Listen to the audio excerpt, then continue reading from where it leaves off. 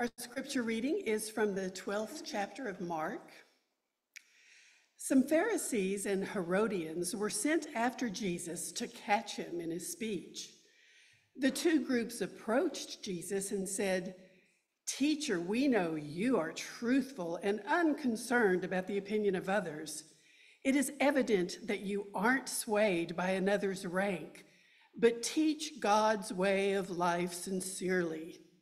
So, is it lawful to pay tax to the emperor or not? Are we to pay or not to pay? Knowing their hypocrisy, he said to them, Why are you trying to trick me? Let me see a coin.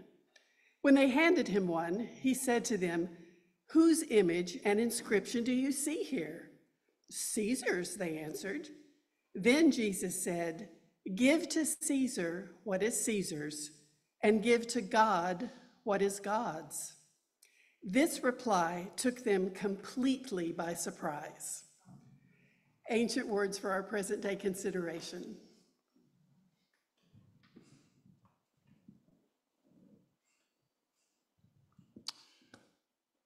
Good job reading, but it sounds like you got something against the Herodians to me.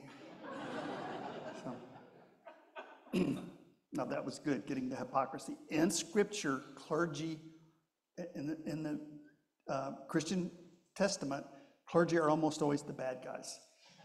So, uh, just trying to give you a warning. Um, by the way, during the Sunday school hour at 9:30, we have a, a rare opportunity to hear from uh, an author who was very important to me when I graduated from seminary.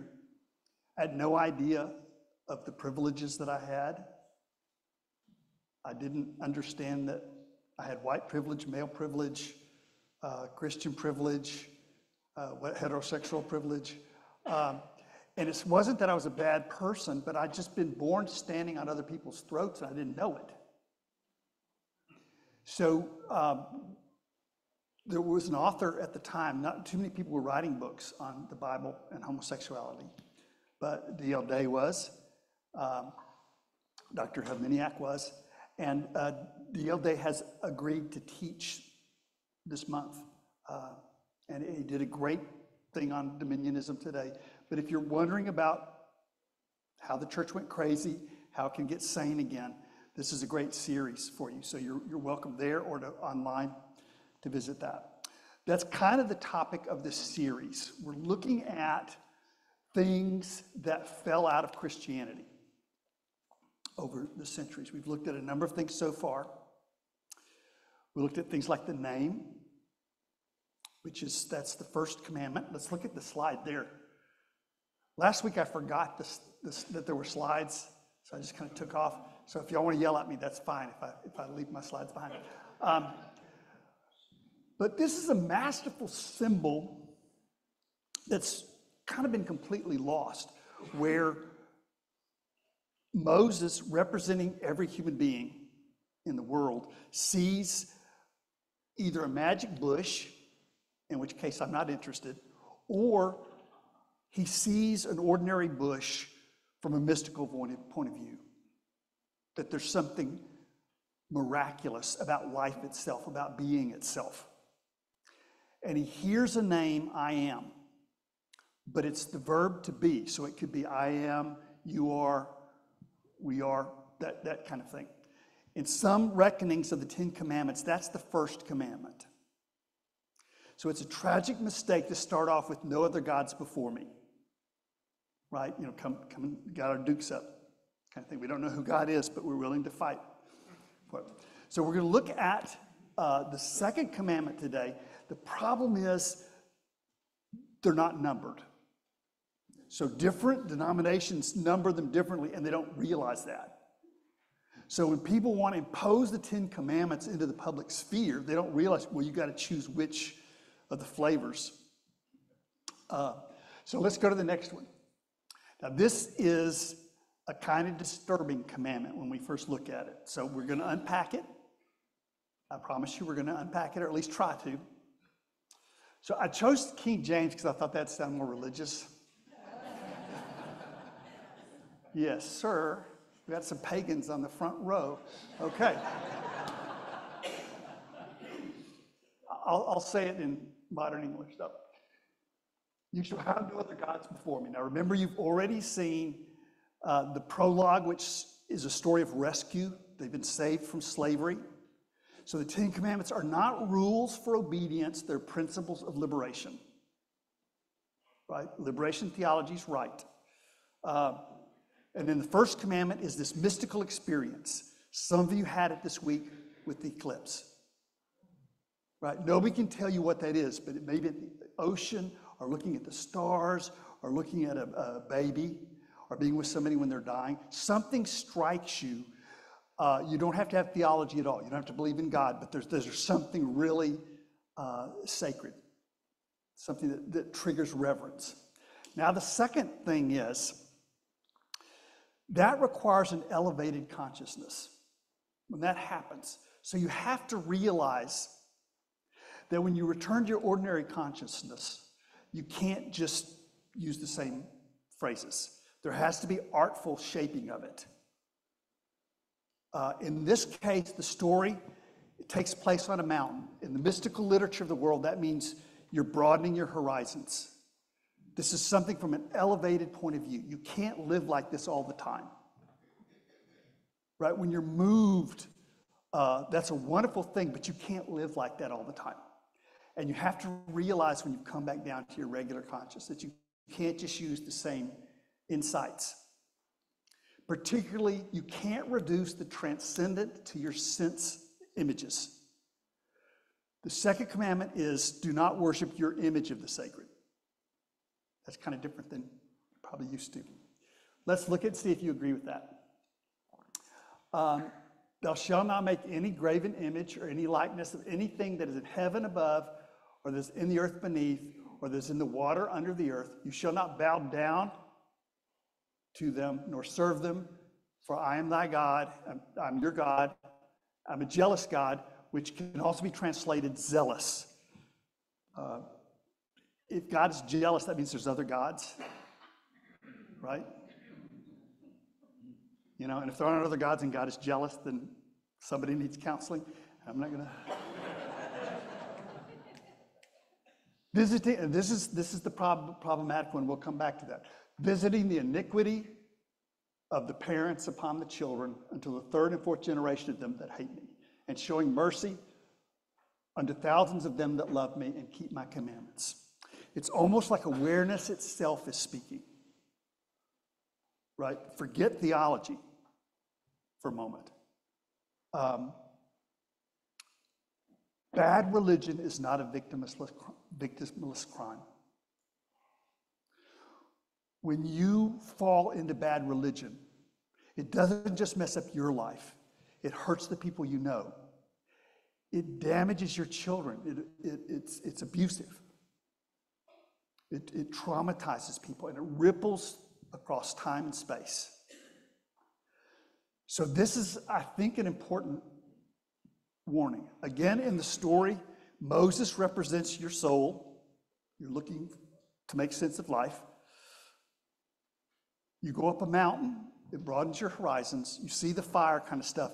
And my favorite part of the story, it's one of the best storytelling devices I know of. He comes down from the mountain, he throws a tantrum and breaks the tablets. The storyteller is telling you don't take this literally. Right? You don't know what happened on the mountain.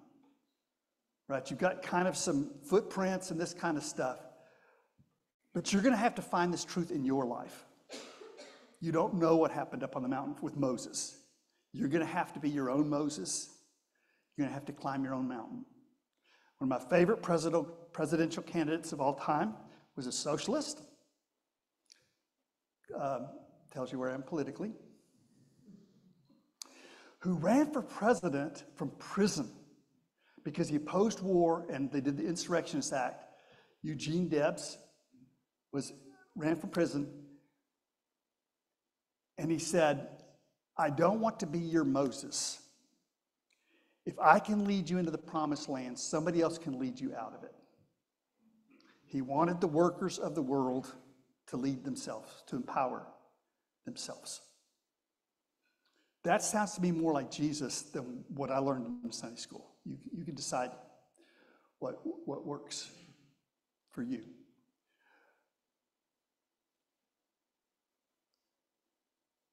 I love Anne Lamott's comment. You know you've, you've uh, created a God in your own image when your God hates all the same people you do.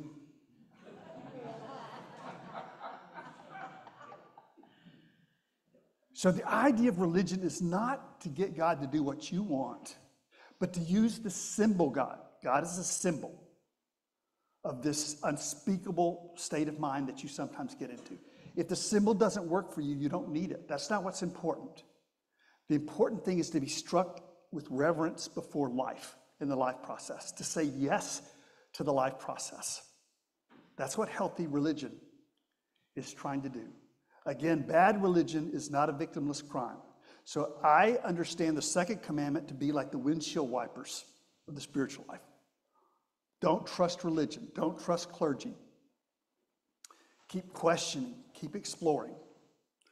Uh, because it's not about your sense impressions, it's not about your beliefs, literal stuff. It's about awareness, it's about interconnectedness, it's about compassion. So we're going to go through, I don't think, am I still doing right here? Let's see. Yeah, I'm still on track. Yell at me if I forget the slides. Um, I personally believe that idolatry is not condemning statues of Buddha for Christians. I believe that's the easy way out to say, don't have other people's religion with you. I think the three greatest idols in America today are people's image of Jesus, people's image of the Bible, and people's image of the church itself. Would that not be the idol? Our image of what the sacred means is where the problem is going to come from. If I have a job next week, we'll look at third now. How can Jesus be a problem? Well, let's look at the little parable that's, that's here. Can we look at the next slide? Okay, in this story, the Herodians, which were parodied so well in the reading, are going to try to trap Jesus. And the way they're going to do it is an either or kind of thing. If Jesus says you do pay the taxes, he's going to lose the support of the people. He's going to seem like he's a sellout. If he says don't pay taxes, they'll go straight to the authorities and he's doomed. It's a great trap. One of the things about right wing religion is it's great at mousetraps right? Little ver- verbal things that, that trap you. And the problem is when you're a mystic and a universalist, the mousetrap's too small. You don't fit in it.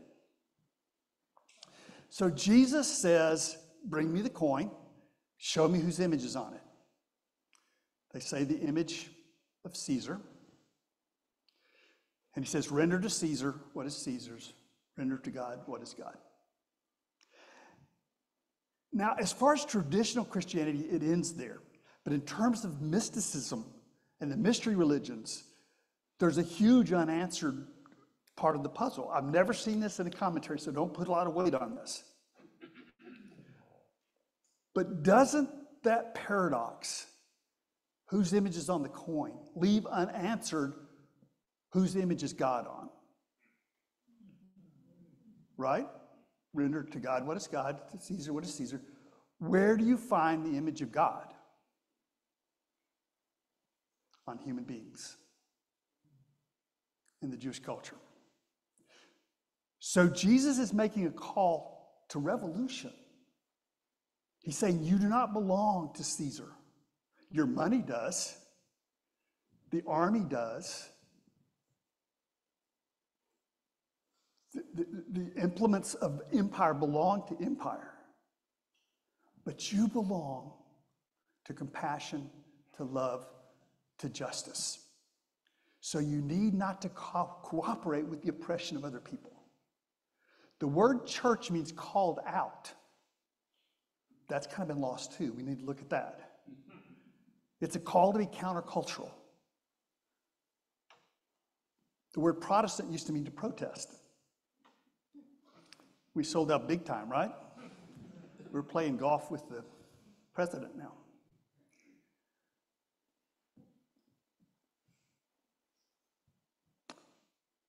Jesus is a symbol that stands for the fact that you are the image of God.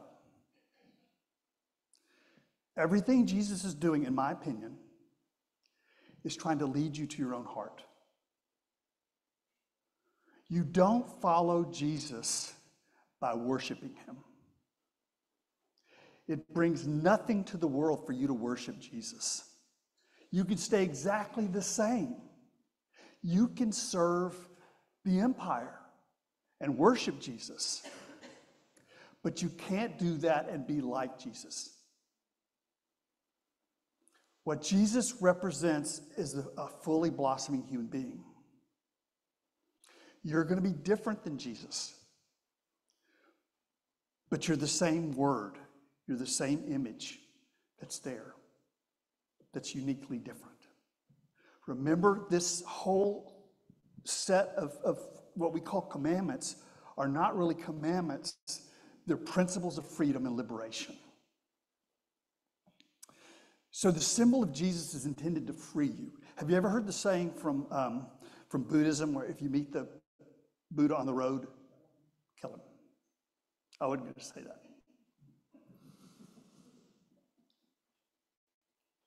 What it means is if you ever see the transcendent in concrete form, stop. Right? The transcendent isn't that, it's everywhere.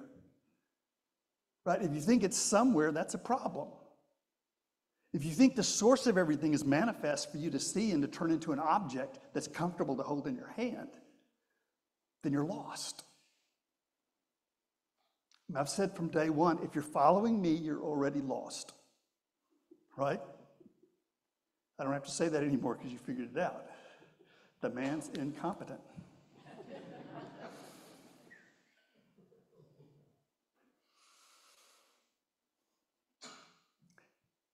In a few moments, we're going to have communion together if you're comfortable. You don't have to if you don't feel like it. But what do you think it means really to eat Jesus? What do you think that really means? We've looked at it from different viewpoints, but don't you think that means to take it in, to integrate it, to become it?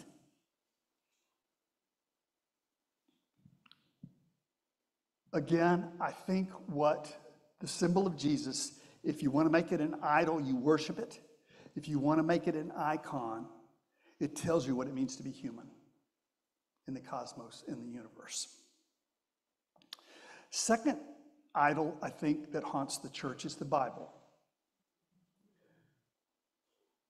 You don't believe in symbols, you perceive through the symbols. You hold the symbols up to your life and you become aware of dynamics that are not easy to see. But have you ever known anybody that became religious and they couldn't see you anymore? Happens a lot. Somebody's beliefs are so strong they can't see anything anymore. That kind of religion is cataracts for the soul. So let me show a different understanding here. Have you seen that word? Namaste. It's Buddhist, but I think that's what the symbols of the other are the symbols of the neighbor, loving everyone, including even your enemy. My soul honors your soul. See, I've, I've realized that I'm the image of God. Now I've got to see that in you. Or I'm trapped in my ego. My soul honors your soul. I honor the place in you where the entire universe resides. I honor the light, love, truth, beauty, and peace within you. because it is also within me. In sharing these things, we are united, we are the same, we are one. I ran across a really striking phrase this week, and I, I couldn't find the author. I found like 30 people that claimed to be the author, but I couldn't find. But it said, Your nervous system will prefer a familiar hell to an unfamiliar heaven. Your nervous system will prefer a familiar hell to an unfamiliar heaven. Have you ever been unhappy and you didn't want anybody to shake up the mood? You're in a really good funk. And somebody's trying to make you happy. No, no, no, no, no.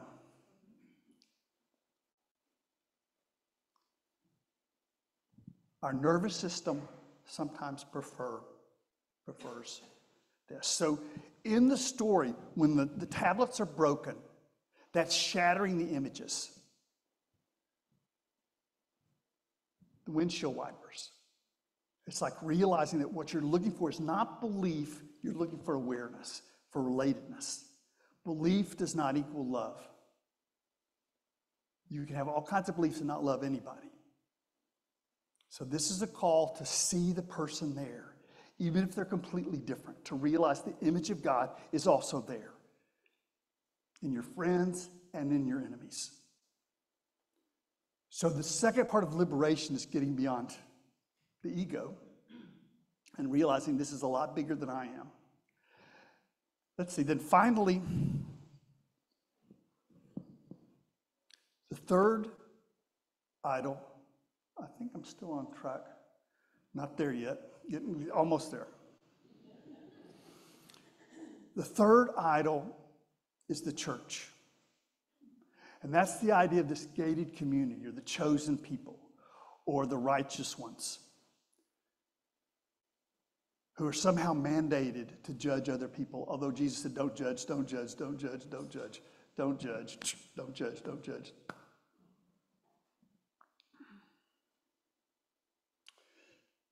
The church is not God's favorite people. The church is a group of people who have come together in community to consecrate themselves to the service of the whole. Doesn't matter if it's Christian, but people who live intimately together in covenant, who dedicate their lives to the service of all others. That's what I think is the true church. Have you ever seen those circle of life things? Do you remember like the, the Lion King? If you saw that and you're you were watching the thing of the circle of life and you thought, you know, that makes more sense than anything you ever heard in church. and we understand that with animals, we understand that with insects. We have any problem say, you know, the you got the egg, you got the caterpillar, I mean, you got the lava, larva, caterpillar, butterfly. But for some reason, with human beings, we can't do that. We fall in love with the caterpillar and we can't let go.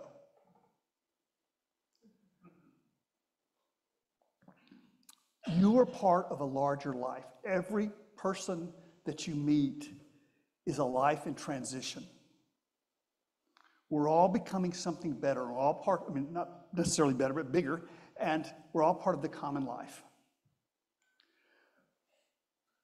Lots of the symbols of Christianity are actually cosmic. I'm going to show you an image from Easter, which I think is about the life process, the cosmic process. And I want you to look at this picture of the empty grave and see if it reminds you of anything that happened this last week. Could we? Okay, that's in these symbols. This is Jesus goes up in the sky. That's the, the, the individual disappearing into the transcendent. Right? Being lifted in the sky means it's, it's you see it everywhere now. Next one. Here we go. Does that remind you of anything that happened recently in your life? John, the imagery that he does is very cosmic. And that idea of the stone rolling away and this light coming out of it. It's not about religion, it's about life. But we need some kind of a scaffold to hold that together. It's very hard to be spiritual on our own. It's very hard to be spiritual if we don't have a practice and a discipline and this kind of thing.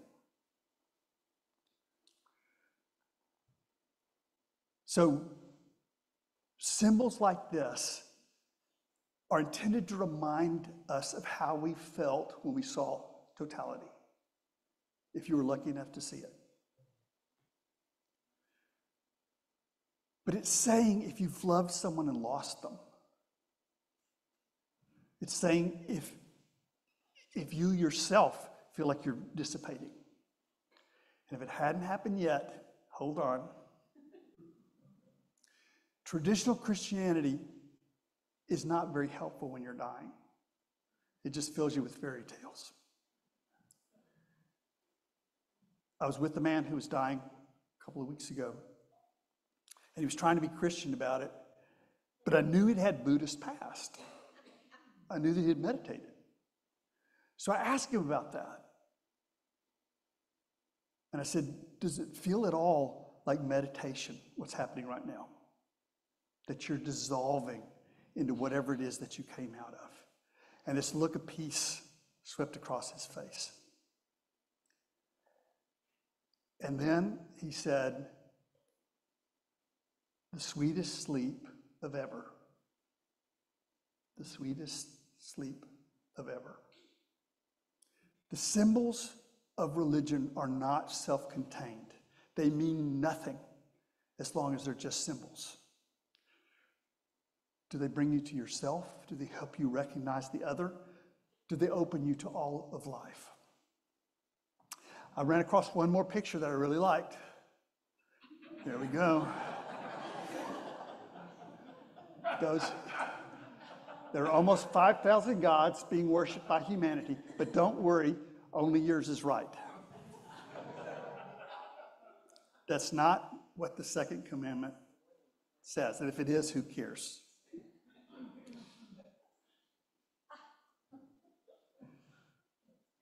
The greatest idolatry in America today is happening on Sunday mornings in churches. We have to realize that. Bad religion is not a victimless crime. So we have to be better at the religion that calls us to love. Instead of worshiping Jesus, we have to allow that symbol to speak to us from the inside out. And we find what is Christ like about us? What is loving and kind? When we take up the Bible, we have to end forever the idea that we're supposed to believe in what's written in those pages. We're supposed to hold those images up to our life and see if we recognize patterns.